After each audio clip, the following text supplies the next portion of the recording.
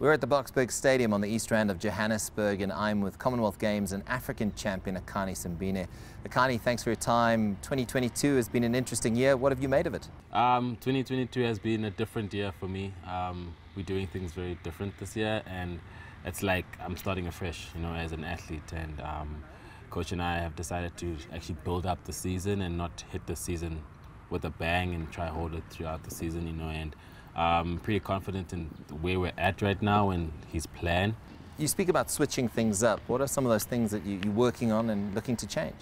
To be honest, it's actually difficult. Like it's, it's, it's, it's tough because it's tough on the mental side because I'm so used to starting the season off with a sub 10 and you know running really fast and now it's actually like pacing ourselves and, and, and when I go to a race it's I have to listen to coach and listen to what he's saying I must do in the race and what I need to focus on and if it's literally just the first 20 meters or the first 30 meters, I just need to focus on that.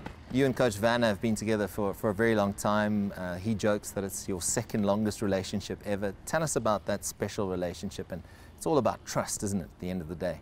Yeah, um, I've been, coach has been my, he's been my first coach, my first and only coach, you know, and um, I, I literally put my life in his hands, you know, I put my career in his hands, and um, I've trusted him throughout. He's, he's, he's been like a friend to me, a brother to me. He's been like a role model to me, you know, and, and, and, and I've grown in the years I've been with him to become a better person and a better man. And Akani, do the objectives for 2022 stay the same with the changes that you've made in your, your training and preparations? The objectives will always stay the same for me. Um, there's three titles up for grabs this year there's African champs, world champs, and Commonwealth Games.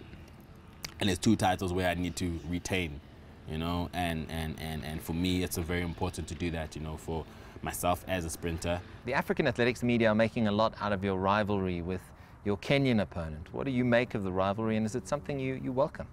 I, I welcome any rivalry, you know, and I'm just happy that there's not just me in Africa that's, that's, that's taking, you know, Africa to the world, you know, and if it's, if it's one thing where us two are going to battle it out to be the king of Africa in sprints, you know, I'm always up for that. You know, it's, it's, it pushes me, you know, because I want to be the best in Africa, but not just the best in Africa, but the best in the world.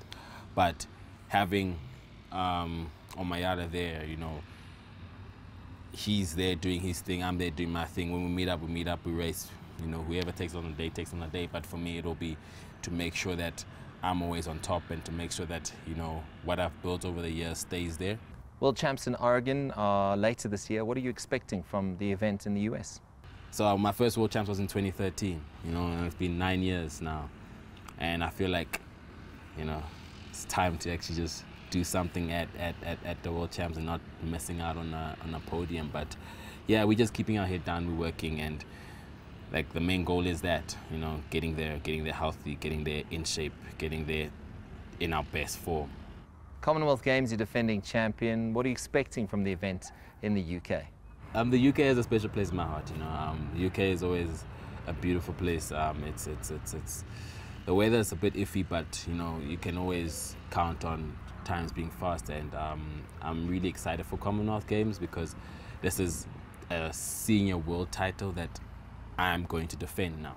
You know, and for me, that like puts a target on my head but at the same time, I welcome the, the target and say, okay, let's go.